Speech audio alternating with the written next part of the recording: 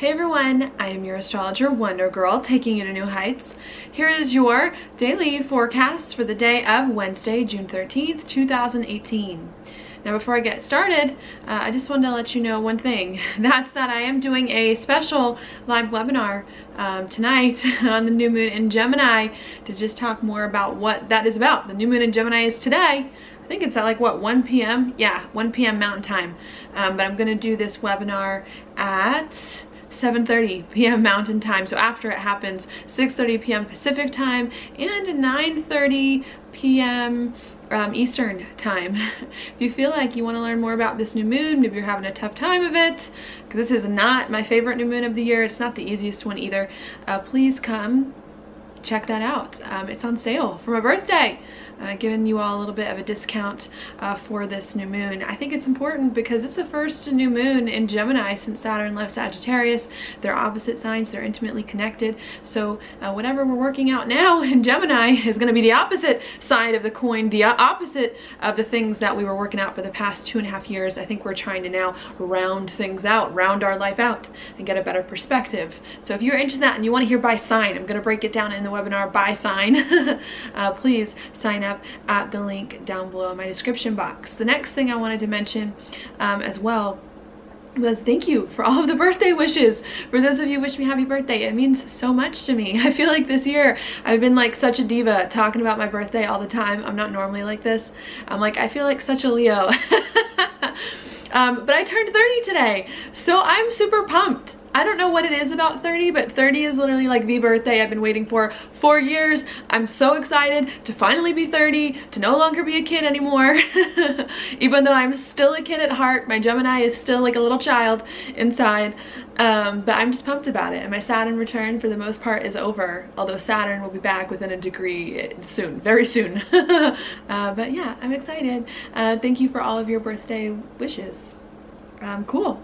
And now let's go for your horoscope. What we've got today, moon hanging out in Gemini. When the moon's in Gemini, of course it's very communicative. a lot's going on in the mind. If it's not communicating outwardly, a lot of thinking that uh, could be going on as well. Okay, because we haven't had the new moon yet, especially at the beginning of the day, a lot of this could just be like internal stuff, trying to work things out internally, figure things out from the past that we're trying to get right with all right?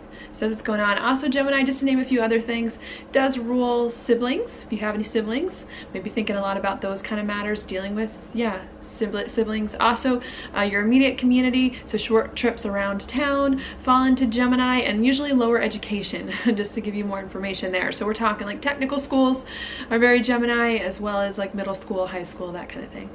Um, so that's what goes on. Now, early this morning, 3 a.m. Mountain Time, this moon in Gemini made a square to Neptune course squares are a little bit difficult. Neptune is hard because Neptune has a lot of things going on inside, spiritually, emotionally, especially with Mercury now in Cancer. That could be a little bit hard to process. So there could be some confusion that comes in early in the morning around 3 a.m. mountain time. Maybe just not feeling quite right with Neptune and Pisces stationing. It's stationing to go retrograde next week. I think there's a lot going on inside us spiritually, emotionally, I think we're trying to figure out and make sense of the past few months. Did we do everything right? Did we not? Did we do everything we needed to do? What does it all mean? How do we feel okay uh, with all of the things that have occurred and accept them? And I think that's we come in at 3 a.m. this morning is we're feeling a lot, we're processing a lot emotionally, but it's now trying to get the, the mind on board. I feel like that's a lot, to be honest, of what this month has really been about, especially with the sun and Mercury just in this spot where the moon now is today in the square to Neptune. And I feel like this month, and you'll hear me talk a lot about this tomorrow in the webinar, has definitely all been about processing the things from the past, taking the negative and transmuting them into the positive. I really do think that's a lot of what is going on here, um, especially with this new moon going to be in the third decan, the Sabian symbols, the inside degree. It's just a lot. It's a lot about getting the healthy perspective on your experiences. And I think that's what we're trying to figure out at 3 a.m. you know, is okay, now that life has happened to me, um, now that for the most part, like all the new stuff has been done. Now that now that Saturn's at a Sag, we've gotten everything in that we needed to get in. I don't know if needs the word I want to use, but now that we've gotten a lot of stuff in in the past few years, now it's time to process, to understand, to integrate uh, all of this stuff um, so that we can move forward on it yeah so i think that's a lot of what's uh, what we're trying to figure out to how to make sense logically of everything that's occurred Okay, so that happens at 3 a.m. Then um, quite a few hours later at 1 p.m. Mountain Time, the moon moves further through Gemini and makes a conjunction with the sun. And that, of course, is what makes it a new moon. So we've got the new moon at 1 p.m. Of course, that could bring fresh energy, new beginnings. A lot of times in communication and how you communicate could be a big burst of energy to communicate. Maybe lots of people are talking to you then, or you're talking, or maybe some of the things that are going on inside you, you get to be a little bit more open about, about what's going on as well. So I think that could happen. And then of course, with the new moon being opposite Sagittarius where Saturn was, I think it's finally time for us to say, look, my life is not what it used to be um, for the past two and a half years. I think we've known that for quite some time. And I think now this new moon in Gemini is really saying, okay, now it's time to let that hit home that your life is not what it was and to start to live life differently now that you have or are trying to integrate these experiences uh, into your life. All right. Yeah, I think we're just trying to, the best that we can, focus on a lot of the things from the past two and a half years that we neglected and to come back and to just make sense of them more and more. Uh, yeah. So that's what's happening there. Um, then at, I'm trying to decide, I was like, do I want to mention the quincunx? Because I will mention the quincunx uh, in my webinar, but this new moon is going to be in a quincunx to Pluto uh, as well. So even though we're trying to talk about some things, get the perspective on our experiences so far, this quincunx to Pluto, which is funny, my natal moon quincunx is Pluto, uh, could bring up a lot of intense feelings under the surface too that it is that we're trying to communicate about. a lot of y'all say I communicate very intensely. I blame that on the quincunx to Pluto. So I think we're trying to process our emotions, get some insights, some spiritual insights, some things that have happened to us in the past so we can get comfortable with where our life is now. And I think the quincunx to Pluto is bringing up a really deep, really intense undertone emotionally, strong emotions as we try to process and communicate about some of the things going on within us. All right, then that's it for the day. it's actually kind of a slow new moon day other than the fact that Mercury and Venus are acting up. Um, but that's happening there with the moon, that's it. And then the next aspect won't occur until tomorrow at 3 a.m. mountain time. And tomorrow um, the moon's going to enter into Cancer at 3 a.m. and then very shortly after, two hours later, it's going to sextile Uranus and then square Chiron. So what's going to happen tomorrow morning is that after all this communication, trying to process what we're feeling mentally, having a lot going on inside, after all of that comes, then I think things maybe calm down a little bit tomorrow, become a little bit more internal if they're not already. I think they already are um, and, and it gets to be definitely a little bit more emotional. So yeah, I mean, this new moon is already a pretty emotional new moon. I'm not gonna lie, with the ruler of the new moon in Cancer, with the quincunx to Pluto, but I think maybe that's what I'm trying to say, is that the emotions carry over. Um, and I think the things that we think about today at the new moon, that we try to understand, that we try to process in the mind, I think tomorrow we try to get more comfortable with these insights, to figure out what they really mean to us emotionally, to root ourselves in the things that we realize today okay? I hope that wasn't confusing, but I think that that's what goes on. And as we try to get comfortable with these insights tomorrow, um, to process them more and more emotionally, to root and ground ourselves more and more, in this new life, new experience, now that Saturn and Sagittarius is over, um, there could be some other things that come up. All right, with the moon making the square to Uranus, there could be some unexpected insights that we get very early tomorrow, tomorrow morning, again, about what we need to feel more comfortable in life uh, in some way, to get grounded, to overcome the past, to feel much better emotionally, but then with the moon very early tomorrow morning, going to square Chiron, these insights we could not be too happy about because I mean with the square to Chiron we have to do things very differently. Now that we have the new moon on the other side of the zodiac that Saturn was on, it's saying look, life is not the way that it was before. You have to change. You have to do some things that are not quite what they were. And now that we have a lot of these planets, at least for right now, in um, a water sign, um, Cancer, uh, Mercury and Venus are there, the sun and the moon of course will be there soon. It's saying look, you gotta like stop trying to push so hard, especially when Saturn was in a fire sign for so long. It's like you gotta chill on the passion right now, even if you want it, even if you wanna do things um, and really have to figure out ways to nurture yourself through this process, how to get more comfortable with everything that's gone on, how to ground yourself and find the stability in your life more or less before um, before making progress once again. And I think that's what starts to come in at the very end of today, really tomorrow, although the Mercury there today is kind of causing that, is it's really all about, okay, now how do we get more grounded? How do we root ourselves more and more? Even if that root is gonna be um, dug up a little bit a few months from now, I think taking this time out to get right with ourselves um, is going to help prepare us for when things start to move again. And I think we're trying to get insights on how we can um, take this moment to be still, to figure things out. And it could be hard because maybe we don't want to be still with Mars in the South Node, with Chiron and Aries. We don't want to be still. We want to do things. We have things we need to make happen so that we really can do what we want. And I think really at this time, needing to be okay if you can't do some things, if you have to sacrifice some things that that you really, really want in order to find that comfort that it is that you need, okay? Um, so I think that's what's going on. Um, after that, that's all for the day. now I'm going to talk about what's going on in the background. All right, maybe what I'll start with here is what I was just talking about because Mercury did move into Cancer yesterday, the very end of yesterday. I don't know if y'all felt that, but man, I did. All of a sudden, I got like super sluggish at the end of the day, very tired. Body was hurting a little bit, um, but I definitely felt that. uh, Mercury moved into Cancer, which of course is the ruler of the new moon um, again making this new moon very emotional we're communicating about things that perhaps are uh, sensitive to us in some way i think really trying to figure out what's in our heart what we're feeling and how we can feel better Again, Mercury, as it just moved into Cancer, is going to make that sextile to Uranus and that square to Chiron, which is where the moon will be. So I did just talk about this. But again, could bring insights um, really um, any time in the next few days, uh, but especially when the moon crosses it tomorrow, early tomorrow morning. Again, insights about what we need to feel better in life, maybe even unexpected insights about what we need emotionally uh, to create more of a life that really makes us feel more comfortable, but again, maybe having to sacrifice some of our desires, some of the things that we want, or have to do things very differently in order to find some of that comfort that it is that we want, all right?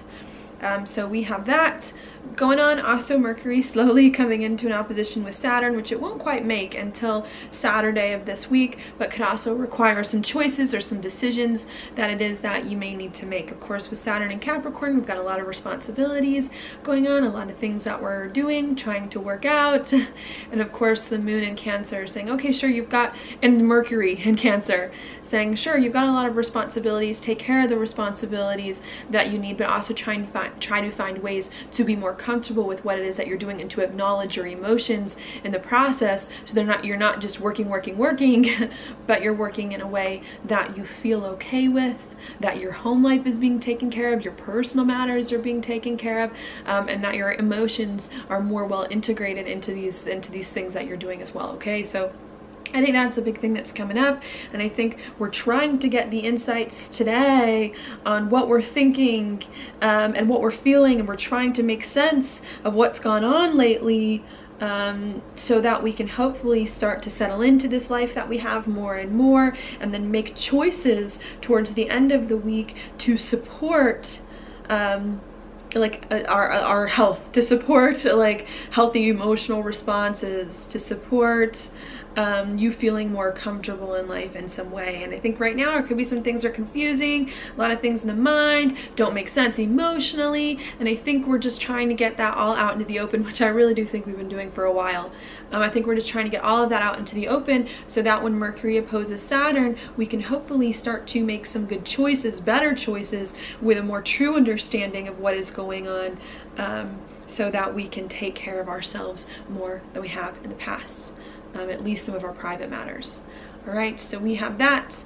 The other thing that I will mention, Venus too at 29 degrees Cancer. So again, very emotional, a lot going on inside about relationships, wanting to nurture yourself, um, wanting to make sure everything's okay emotionally, wanting to make sure other people are okay emotionally. Venus though coming into a uh, square with Uranus and a trine with Chiron though making that a little bit hard making it hard for you to feel comfortable in life since Venus rules yeah what what brings us comfort and beauty.